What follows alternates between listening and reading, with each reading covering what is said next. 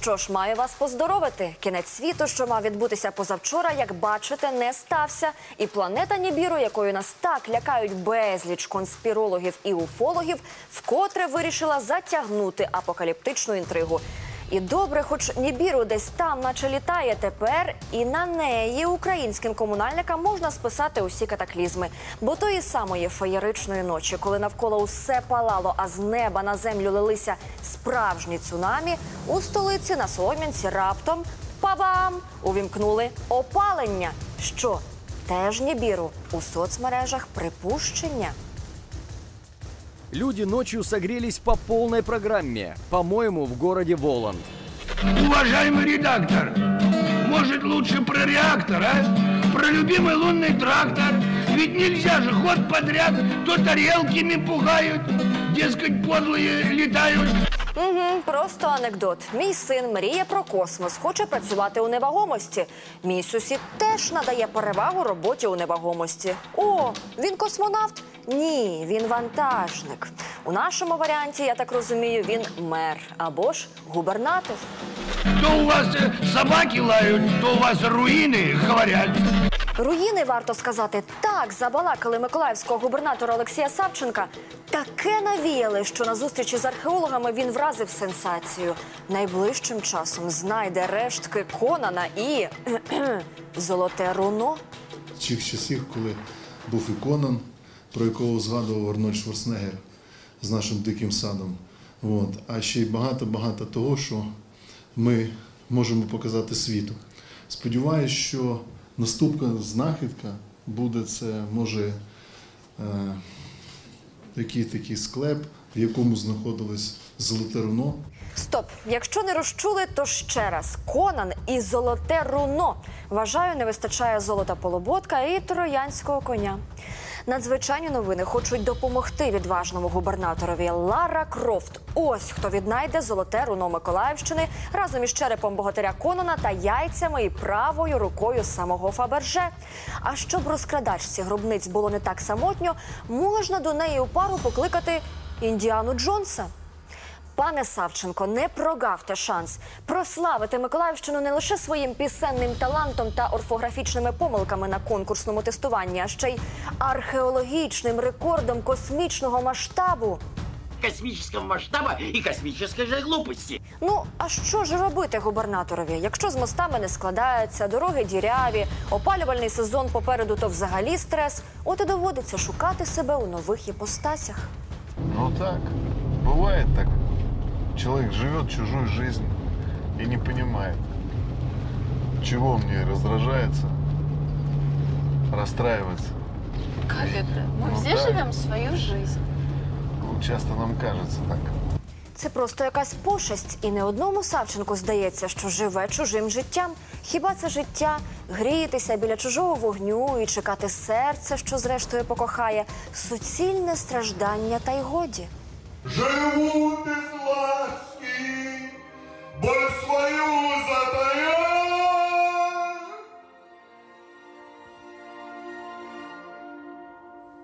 Всегда быть в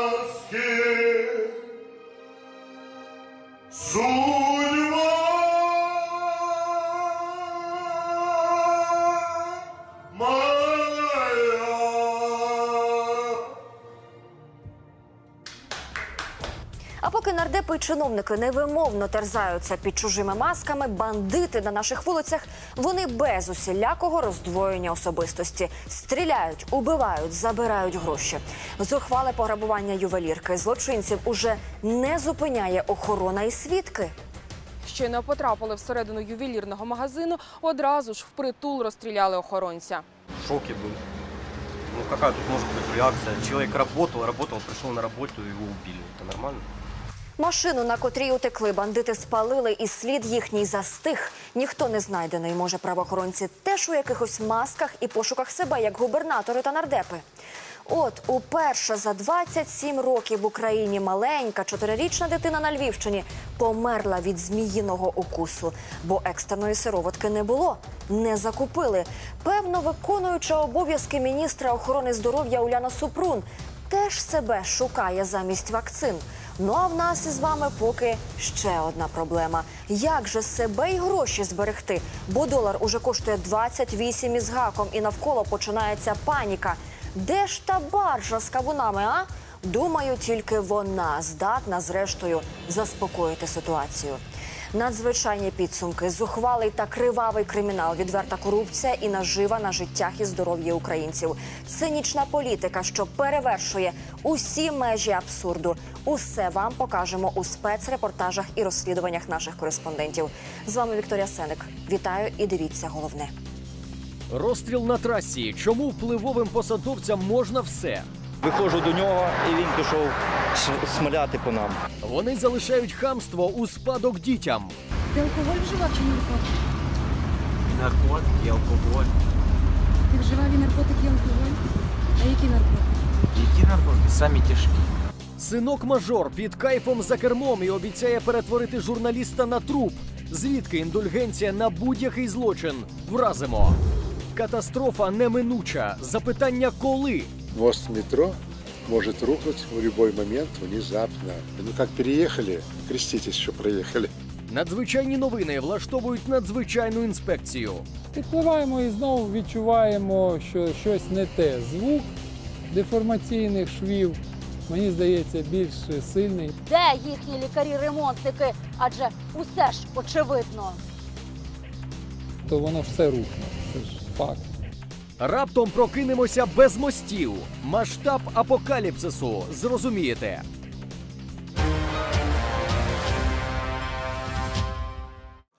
Їхнє прізвище Бузинарське, і вони вкрай небезпечні, бо досі безкарні, а гріхів за ними чимало.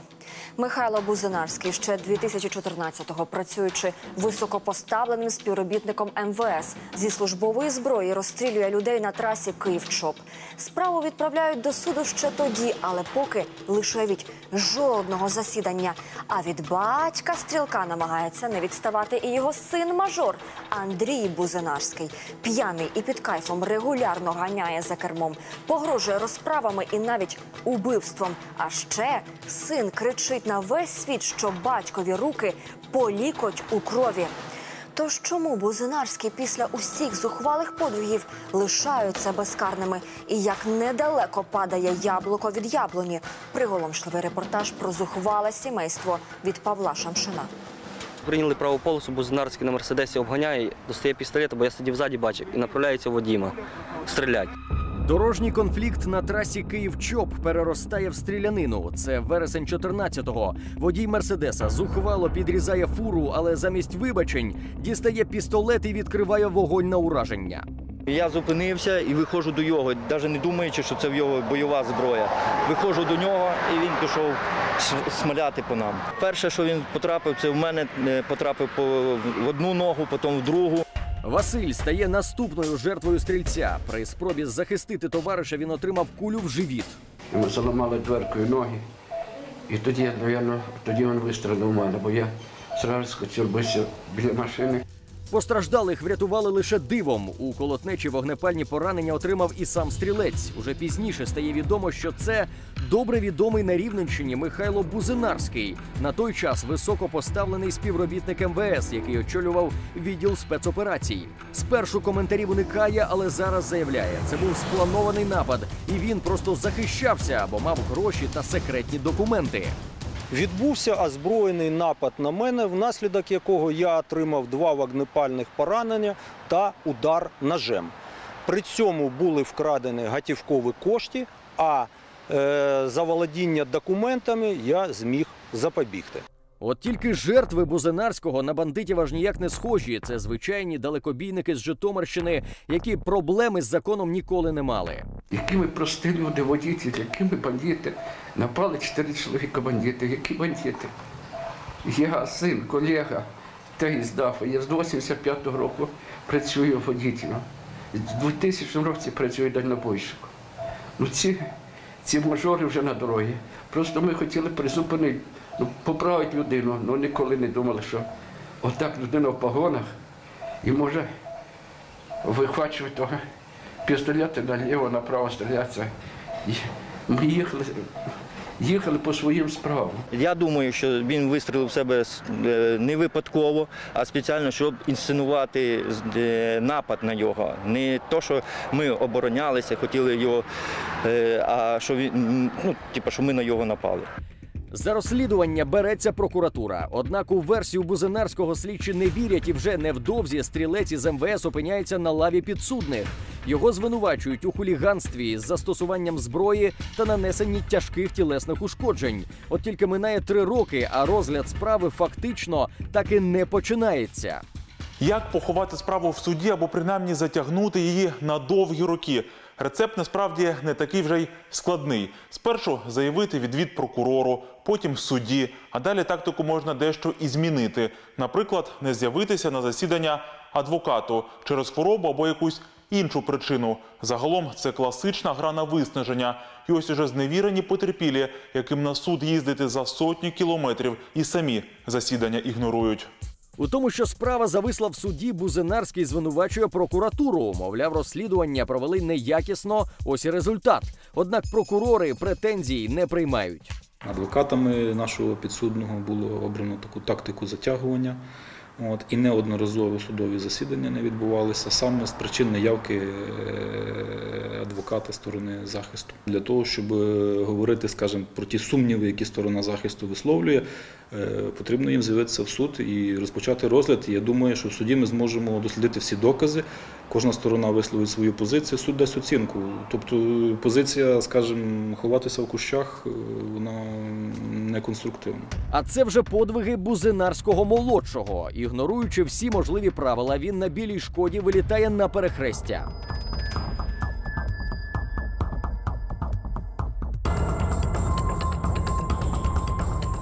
Зухвалий маневр Андрія Бузинарського мало не коштував життя пасажирці дачії. Жінку швидка забрала до лікарні. Так я його не бачив, чесно. Е, Просто жінка закричала і чую удар. І потім вже видно звідти, казали всі, що звідти вилетіло. Тихо по прямій. А машина, мабуть, не підлягає ремонту. Того ранку Бузинарський молодший не те, що сідати за кермо, навіть з дому виходити не мав права. Зараз молодика судять за збут наркотиків. Він під нічним домашнім арештом. А за нетверезу їзду його позбавили права керування. Однак на закон мажору плювати. Ти алкоголь вживав чи наркотики? Наркотики, алкоголь. Ти вживав і наркотики, і алкоголь? А які наркотики? Які наркотики? Самі тяжкі. А далі починаються погрози. Бузинарський молодший, навіть не ховаючись, обіцяє проламати голову журналістці Інні Білецькій лише за те, що вона одразу після ДТП зафільмувала його на власний мобільний. Я думав, що я не буду все ж те їсти. Я думав, що просто башку собі проламати бажав. І ти будеш як мінімум трупом, а як максимум нулю. Він же ж не один раз перебуває в такому стані. В такому стані він небезпечний. Я думаю, що він має, як він справді говорив, таких колег, які і оглядатися я не почала, але я ну скажу, що я цілком серйозно сприйняла ці погрози. За погрози вбивством журналісту проти Бузинарського молодшого поліція відкриває кримінальне провадження. Однак навіть після цього мажор так і не усвідомлює, що його головний ворог власний язик. Вона там, кажеться, ця білайська там обіднулася з журналюгами, там, блядь, яке їй погрожує. Знаєте, їй башку пробити давно хочуть. А якщо проб'ють, я жаліти не буду. Вчора бачив статом, каже, блядь, менше пізди. Ну от, говори менше. Я вам скажу, я люблю говорити правду. Однак до поради батька Андрій так і не дослухався. Тож тепер Бузинарському старшому доведеться знову витягувати сина з халепи. Як це було приміром, коли Андрія ловили за їзду під наркотиками. А це ви славнозвісний Бузинарський, який стріляв по людям? А що, батя трохи це саме начудив, так? Да? Мене батя бандюган був, попав міліція афганець. Він сказав, я нахуй всіх гранатами позакидую, було все зубі. Нічого собі. Це в мене батя по крові, блядь, отак от цьому по локті в крові. Чи достатньо в нього зв'язків для того, щоб порішати? Вчора а, його син Андрій Михайлович Бузунарський в прямій трансляції в інстаграмі говорив, що ну там отак мінти до мене погано ставляться, але коли тато при... з'являється, то вони стають такими мілахами, котиками. Тобто, очевидно, що Михайло Бузунарський, будучи колишнім правоохоронцем, має якийсь вплив. От тільки впливу на власного сина Бузинарський старший, схоже, не має. Принаймні, втихомирити Андрія, який продовжує сідати за кермо під алкоголем та наркотиками, і при цьому регулярно потрапляє в кримінальні хроніки, йому ніяк не вдається. На жаль, я е, мало спілкуюсь з своїм сином. Можливо, це і не добре, але він живе самостійним життям. Я можу припустити, що він після ДТП сильно вдарився головою і був е, в стадії афекта, коли людина ну не зовсім контролює свої почуття, свідомість, і в цей момент, звичайно, щось мог він продюсеру сказати. Зараз Андрій Бузинарський фігурує вже в трьох кримінальних справах. А вже наступного тижня затишну квартиру він може змінити на камеру СІЗО. Прокуратура клопотатиме в суді, аби мажору змінили запобіжний захід на тримання під вартою. І, можливо, цього разу впливовий батько сина й не витягне, адже скоро й сам опиниться на лаві підсудних за давню, але не забуту стрілянину на трасі Київ-Чоп.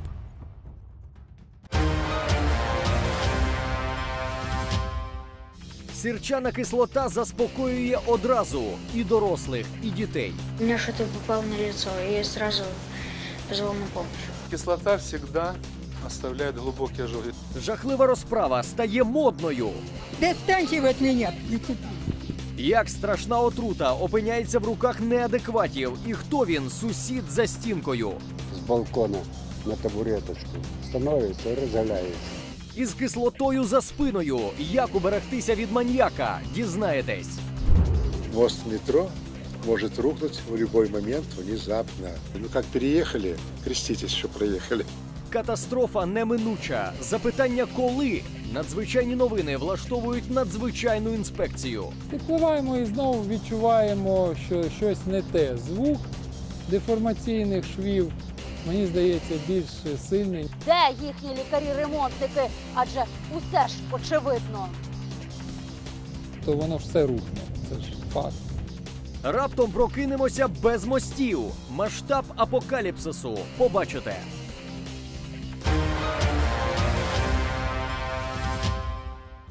Ви впевнені, що добре знаєте своїх сусідів. Думаєте, вони не здатні з вікна першого поверху приснути вам в обличчя кислоту підступно та несподівано. А уявляєте, якщо під пекучий удар потраплять ваші діти?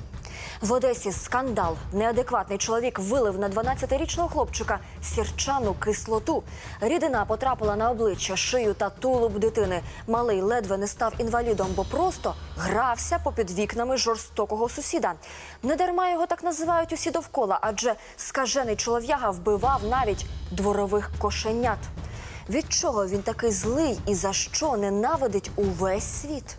І найголовніше, чому від таких людей нас із вами ніхто не захистить? Нелюдська поведінка і шокуюча правда після коротенької реклами. Приготуйтеся.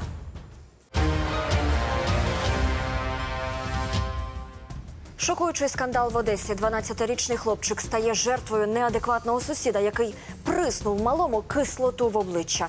Дитина ледве не стала інвалідом, а усі навколо тепер у постійному страху. Бо таке може статися будь-де і будь з ким. Ви добре знаєте, хто живе поруч. Тільки погляньте, до чого вже вдаються люди, у яких щось у вас не влаштовує. Це 12-річний Сашко. Сьогодні, попри рани на обличчі, хлопець посміхається. А ще пару днів тому підлітку було зовсім не до сміху. Ввечері він зі своїм товаришем зупинився під балконом першого поверху. Там мешкає 50-річний сусід, і йому не сподобалося, що хтось порушує вечірню тишу. Мы, получается, разговаривали. Он нас начал обзывать. Я спросил, зачем вы нас обзываете? Он промолчал. Мы стали ну, дальше разговаривать с другом, и мне что-то попало на лицо, и я сразу позвал на помощь. Герман був поруч і теж не одразу зрозумів, що трапилося. Навіть перелякався крику свого товариша. Мы смотрели просто в окно. Вдруг он разворачивается, начинает кричать и положил э, руки на лицо себе. Хлопчик просто криком кричав від пекучих ран. Їдка рідина потрапила Сашкові на обличчя, вухо та навіть за комір футболки. На допомогу підлітку вибігла одна з сусідок, винесла води, аби той принаймні вмився. Дідусь, в якого гостював школяр, обробив йому рани за дідівським, але небезпечним методом молоком. Тоді нікому навіть на думку не спадало, що малого могли залити увага сірчаною кислотою. І рани будуть куди критичнішими. Виявляється, це той самий сусід приснув сірчаною кислотою в дитину. Їдка рідина потрапила Сашкові в обличчя, обпекла шию та тулуб. Лікарі вважають дивом, що кислота не потрапила підліткові в очі, бо хлопець запросто міг би втратити зір. У него пострадало лицо и грудь. Хорошо, что не попало в глаза. Кислота всегда оставляет глубокие ожоги. Попереду на Сашка чекає майже місяць лікування та непроста операція на обличчі. Щоправда, лікарі не обіцяють, що у хлопчика не залишиться шрамів. Самое главное то, что на лице нельзя сразу сделать операцию, потому что это лицо. Но кислота, она продлевает, понимаете, углубляет э, ожог, степень ожога. И выявление, какой будет степень ожог, после того будет видно, когда сойдет некроз. Это мертвая ткань, которая сейчас находится на лице. На груди ожог более легче, а в области верхней челюсти и губы там более посерьезнее ожог. Але чому дорослий сусід вдався до такої жорстокості відносно підлітка? Невже вони так нестерпно галділи під його вікнами? Мати Сашка вважає, що причина геть в іншому. Он такой неадекватный вообще. Он, дети рассказывали, что он днем оскорбляет людей, проходят люди мимо, он их и матами, и как угодно. Он нам каждый день орет, он нас обзывает, ваши родители, э, я ваших мамочек, то ваши папы пи. И это вот каждый день он нам говорил. Еще он один раз за это маленьким мальчиком гонялся. Да, за нами он еще гонялся. Таку неадекватну поведінку сусіда помітили не лише діти, а й дорослі, які також мешкають у цій багатоповерхівці. Он больной человек. У него и отец был такой, и он такой же. Психически Да. Дурнее человека я не видел. Девочки там сидят вот на той лавочке, а он с балкона на табуреточку становится и разгаляется. Да вы что? И матюкает на них, и все. Попри неадекватну поведінку, раніше діти фізично не страждали від сусіда. Щоправда, перепадало від чолов'яги беззахисним дворовим кошенятам. Будете приголомшені від того, що вигадав експериментатор. Он это, котятам тоже налил кислоту, но э, некоторые котята не пили кислоту, а некоторые выпили и, и- и подохли. Мати нещадного месника все спростовує, а сірчаної кислоти в їхньому домі наполягає немає. Да брехня все это. Что это было? Это все пропаганда. Вот что это. Да отстаньте вы от меня, прицепили. Какая вся, откуда она у нас? В каждой квартире. Відповідь на це питання зараз цікавить і поліцію. Головний речовий доказ ту саму сірчану кислоту, після якої постраждала дитина, а на подвір'ї навіть роз'їло асфальт. Копи все ж таки знайшли. В ході проведення невідкладних слідчо-оперативних дій за місцем проживання підозрюваного була вилучена сірчана кислота. На теперішній час за вказаним фактом розпочато кримінальне провадження за частиною 4 статті 296 Кримінального кодексу України. Зловмиснику, який мало не залишив дитину інвалідом, загрожує тепер до семи років ув'язнення. Щоправда, це якщо його не спробують визнати психічно хворим. У такому випадку призначать лікування. А як показує практика, після виходу зі спеціалізованих закладів психопати можуть накоїти ще більше лиха. Йому таки встигли обрати запобіжний захід. Як думаєте, який? За те, що мало не зробив школяра інвалідом, за те, що підло кислотою облив людину, його попросили посидіти під домашнім арештом. Як вам таке? І тепер усі сусіди в очікуванні кислотної помсти, і цілком вірогідно однією жертвою ця історія не закінчиться.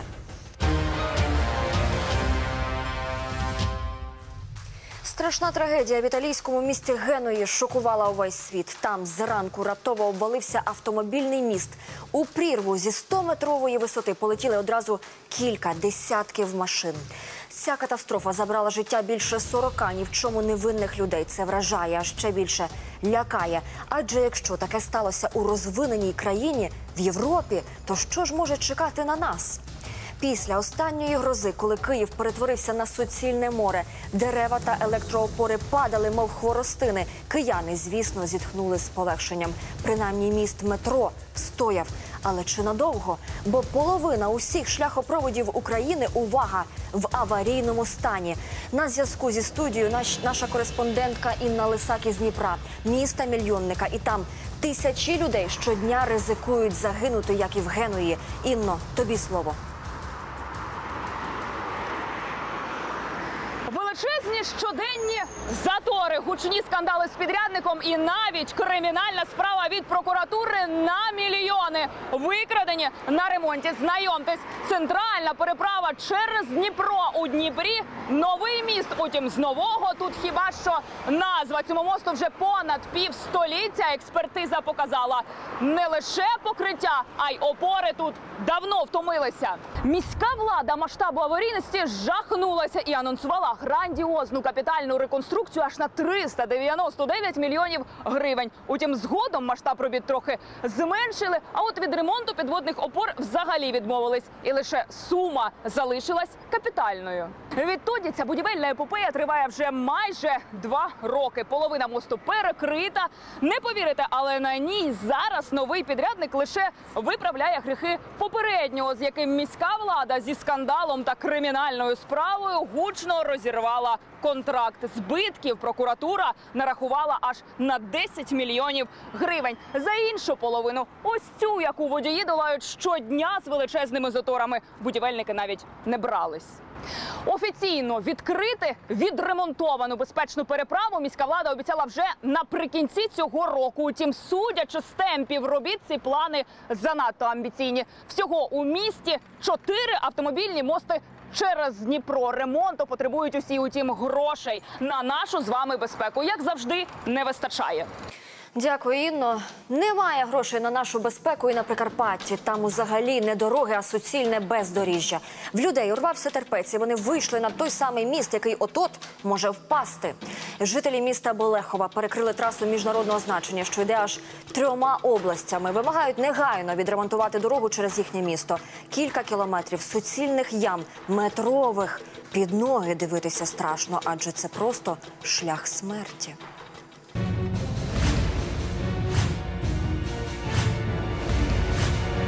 Ця траса веде від Львівського стрия аж до Чернівців. Та посеред цього відрізку шляху нині справжній транспортний колапс. На в'їзді до міста Болехова кілометрові затори в обидва боки. Дорогу перекрили місцеві жителі, вимагають ремонту. Там ями були метрові. Я Жигулем, я Жигулем їхав та е, масло потекло, розбив тут.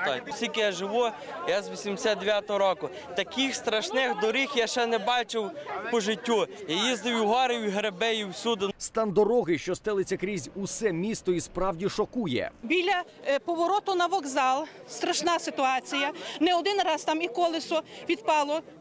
Водіям в машинах пошкодили і диски повідпадали. Це терпець людям урвався. Оновлення дорожнього полотна тут не було вже кілька десятків років, нарікають мітингарі. А щоденні проїзди сотень фур та лісовозів остаточно добили і без того дірявий шлях.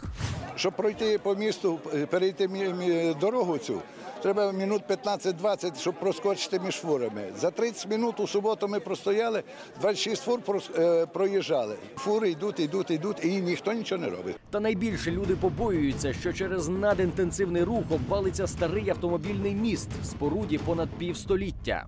Коли їде фура, він цілий ходить. Він з 74-го року він розрахований на 12-13 тонн, по ньому 40-тонні машини їздять. І то сутками, не знаю, по 300 по 400 машин. Розвантажити міст від ваговозів мала б об'їзна, але сюди ніхто не їздить, бо, попри те, що вона є на карті, це не дорога, а суцільне бездоріжжя. У 2007 році зробили цю дорогу, кусками понасипали там, там. І вони сюди не їдуть, ці фури, бо вони не можуть ніяк ну, проїхати, тому що е, вона з- не має виїзду взагалі. На карті відмічено, що вона є державне значення. Тутешні, наче й готові чекати, поки об'їзну відремонтують, але ставлять умови. Шлях через місто, що поки приймає на себе весь потік машин, теж має бути реконструйований. Через місто проходить е, транспорт весь на Львівську область, на Франківську, на Закарпатську область. І скупчення цього транспорту, воно все йде через наше місто. Дорога в Болехові місцевого значення розповідають в міській раді. Отже, на балансі облдержадміністрації. А там уже так би мовити втішили людей. Капремонту не буде, коштів немає. Яка була домовленість ще, що до весни треба зробити ямку, щоб було проїзна ця дорога. Робиться проект на е, водовідведення цієї дороги, і буде проект на капітальний ремонт. І почнемо 2019 році. Року вони обіцяли почати капітальний ремонт. Такий варіант мешканців не влаштовує. кажуть, з дороги не вступляться, поки на їхнє місце не стане техніка для капітального ремонту. Дорожники нині все ж приїхали, але тільки з лопатами ями засипати. З лопатами бачили? От міністр інфраструктури Володимир Омелян тільки но про ведмедів говорив. Мовляв, після його останнього рішення обмежити пасажирське перевезення до Росії, слід думати, потяги він дуже хоче заборонити. Залишиться туди їздити тільки на так ведмедях. Ну, Омеляну з гіперлупу, певно, видніше. А дивився б не в чужий бік, а в рідний, то може й побачив би пан міністр, що скоро нам в Україні на собачій упряжі доведеться їздити та на веслових човнах через ріки переправлятися. Спасибі, що жива, каже у Запоріжжі наша Олена Каптюх, коли переїжджає з лівого берега Дніпра на правий. Олено, розповідай нам. У Запоріжжі сполучення між правим і лівим берегом Дніпра здійснюється через мости Преображенського. Щодня тут проїжджають сотні машин. Перевантаженість, особливо у годину пік, просто колосальна. Люди, які намагаються зранку доїхати до роботи, а ввечері повернутись додому, щодня потрапляють у справжній транспортний колапс. Останній так званий ямковий ремонт тут робили три роки тому. Самі водії не витримали на всю Україну. Продемонстрували метрові наскрізні дірки на цих мостах. Комунальники тоді залатали пробоїни, та на цьому, на жаль, і все.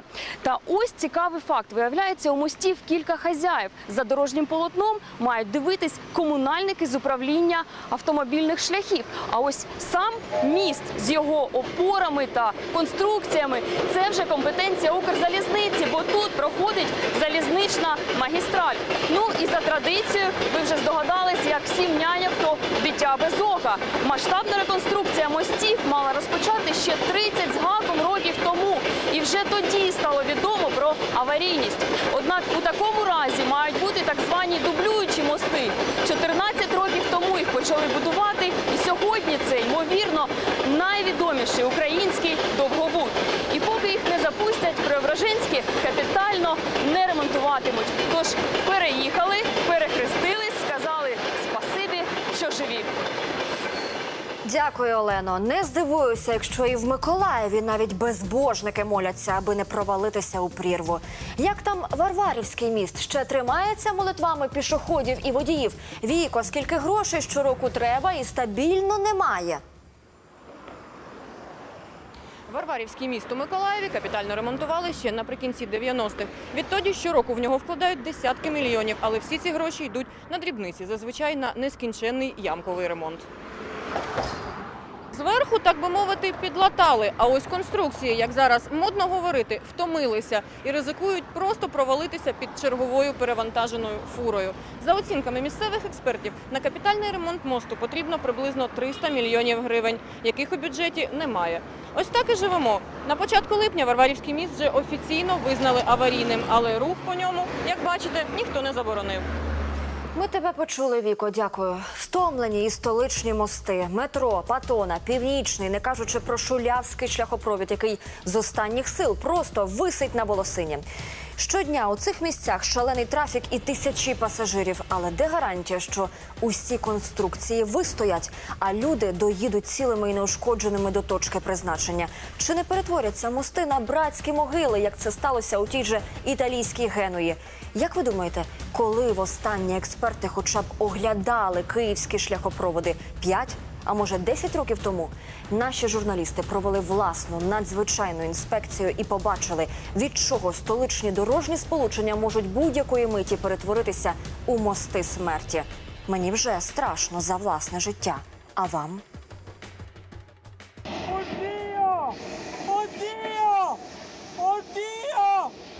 Десята ранку. Італійський міст Моранді розсипається, ніби картонний. Десятки машин летять у 100-метрову прірву. Під важкими уламками бетону гинуть 39 людей. Серед жертв не лише водії та пасажири, а й випадкові перехожі, які у ту фатальну мить були під мостом. Конструкція якраз над густонаселеним районом Генуї.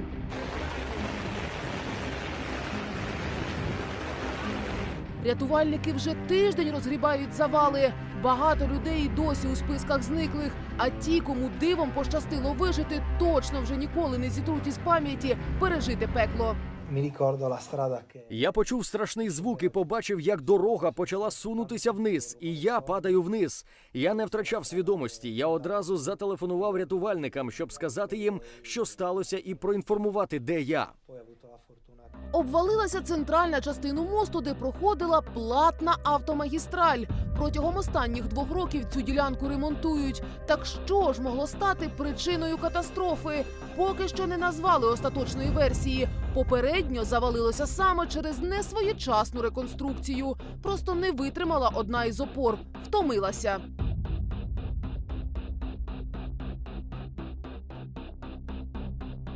Якщо така халатність можлива в цивілізованій Європі, то чого ж тоді чекати нам у Києві? В лютому 2017-го обвалився перший шляхопровід. Пригадуєте ту паніку? Шулявський міст, який стоїть на перетині двох найбільших магістралей мільйонного мегаполісу, почав буквально розсипатися у годину пік. Тоді величезні шматки бетону поховали під собою припарковані автомобілі. Лише дивом обійшлося без жертв. Паркував машину, якраз було вільне місце. Завжди паркую під е, мостом. Зараз да, паркував в вільному місці. Після аварії експерти чи не в один голос сказали, звідки чекати наступного удару. Міст метро зараз називають найнебезпечнішим. Щодня і майже щомиті по найпопулярнішому столичному мосту метро проїжджають одночасно кілька тисяч людей. От дивіться, лише в одному поїзді їх майже півтори тисячі. А якщо назустріч один одному рухається одразу два, то це вже три тисячі. Давайте додамо, що водіїв та пасажирів із автомобілів щонайменше одночасно півсотні машин, а в години пік до трьохсот. Тобто ще кілька сотень киян. Ви зараз лише на секунду уявіть цю кількість. А далі математика не складна. Разом в одну мить, якщо це все впаде, можуть загинути понад три тисячі ні в чому не винних жінок, чоловіків та дітей. Врятувати зможе лише те, що висота мосту не надто велика. На відміну від 100-метрової прірви в Генуї, наш міст над Дніпром лише у 20 метрах. У тому, що міст метро може обвалитися в будь-який момент, говорить і співавтор самого проекту. За словами Георгія Росновського, він мав би простояти не менше ста років, але ще під час будівництва допустили масу помилок в арматурах, які виконують функції опор. Заради економії не виконали робіт з ізоляції, і тепер іржа опори просто нищить. полуарки моста стянуты с бетоностяжкой. А внутри, в швах между э, этой стяжкой, железобетонной стяжкой внутри по высоте, находится напрягаемая арматура, пучки. Так эти пучки не заизолировали, залили раствором, все это потом потрескалось, и все ржавеет, страшное дело. Он, можно сказать, в аварийном состоянии сразу был. Найстрашніше, що точно перевірити, наскільки міст вже зруйнувався всередині, неможливо. І Росновський переконаний, навіть капітальний ремонт тут вже не допоможе. Міст потребує тотальної реконструкції. Недарма вже майже 10 років тут заборонено їздити великогабаритному транспорту. Каждые года 3-5 давали деньжата одной ма- группке так называемых проектировщиков. А что они делали? Красили перила и асфальт ложили. От этого мост очень крепче становился. Особенно, когда перила красили. Мост метро может рухнуть в любой момент внезапно. Как переехали, креститесь, що приїхали. А от місцева влада заспокоює. До повної аварійності мосту метро ще стояти аж 4 роки. Ну що ж, нічого, почекаємо, поки конструкція не почне розсипатися на очах і ховати під собою людей.